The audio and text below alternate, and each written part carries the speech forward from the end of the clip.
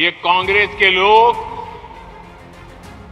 कभी मेरी कब्र खोदना चाहते हैं कभी मुझे सांप बुलाते हैं।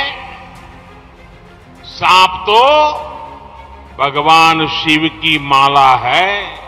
पहला ऐसा प्रधानमंत्री देखा है बहनों और भाइयों। पहला देखा है।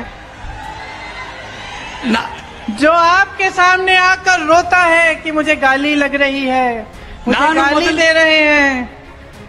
आपके दुख सुनने के बजाय अपना दुखड़ा आपको सुनाते हैं। हिम्मत करो मोदी जी मेरे भाई से सीखो। मेरा भाई कहता है गाली क्या मैं गोली खाऊँगा इस देश के लिए?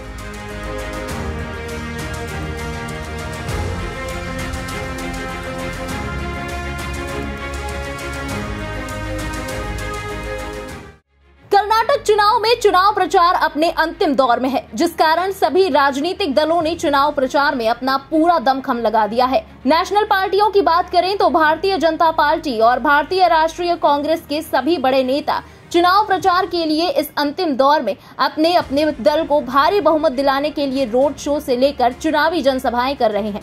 और जनता से रूबरू होने का कोई भी मौका नहीं छोड़ रहे।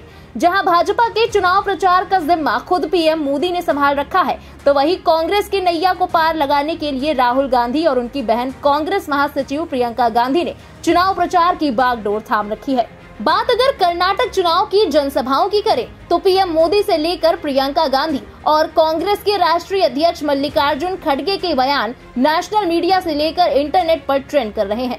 कांग्रेस के राष्ट्रीय अध्यक्ष का पीएम मोदी को जहरीला सांप वाला बयान जहाँ ट्विटर पर ट्रेंड कर रहा है तो वहीं पीएम मोदी का कांग्रेस के गाली का पिटारा और खड़गे के बयान के पलटवार में दिया गया बयान, सांप तो भगवान शिव की माला है, ट्रेंड कर रहा था। कांग्रेस ने मुझे गाली देने वाला पिटारा फिर खोल दिया है। ये कांग्रेस के लोग कभी मेरी कब्र खोदना चाहते हैं, कभी मुझे सांप बुलाते हैं। सांप तो भगवान शिव की माला है। मेरे शिव तो आप हैं, जनता जनार्दन है। इसलिए इनकी इस गाली को भी मैं सिर माथे पर लेता हूँ। ये गाली देते रहे। लेकिन आपको याद रखना है ई बारिया निर्धारा बहुमद्दा बीजेपी सरकार।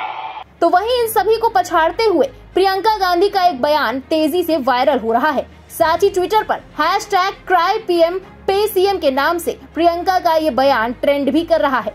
इस बयान में प्रियंका गांधी ने इक्यानवे बार पीएम मोदी को गालियाँ देने वाले बयान पर करारा जवाब दिया।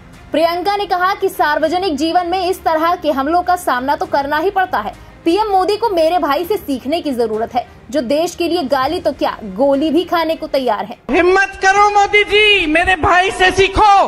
मेरा भाई कहता है गाली क्या मैं गोली खाऊँगा इस देश के लिए? प्रियंका ने पीएम मोदी पर पलटवार करते हुए कहा कि मैंने कई प्रधानमंत्री देखे हैं लेकिन पहला ऐसा प्रधानमंत्री देखा है जो लोगों के सामने आकर रोता है कि मुझे गाली दी जा रही है। आपके दुख सुनने की बजाय अपना दुख सुनाते हैं। पहला ऐसा प्रधानमंत्री देखा है बहनों और भाइयों। पहला देखा है।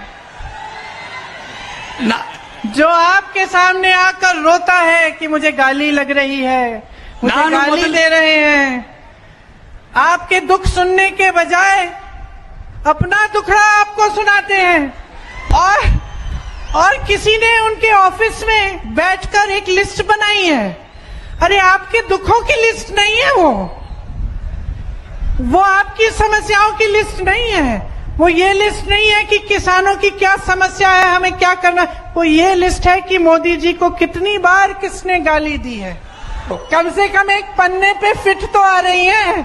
अगर मेरे परिवार को जो गालियाँ दी हैं इन लोगों ने हम लिस्ट बनाना शुरू करें तो हम किताब पे किताब पे किताब छपवा लेंगे। बता दें कि कांग्रेस नेता प्रियंका गांधी ने प्रधानमंत्री मोदी पर यह पलटवार कर्नाटक के बागलकोट की चुनावी रैली के दौरान किया था। बहरहाल, राजनीतिक पार्टियों और उनके नेताओं द्वारा जनसभाओं में ऐसे बयान तो सामने आते रहेंगे।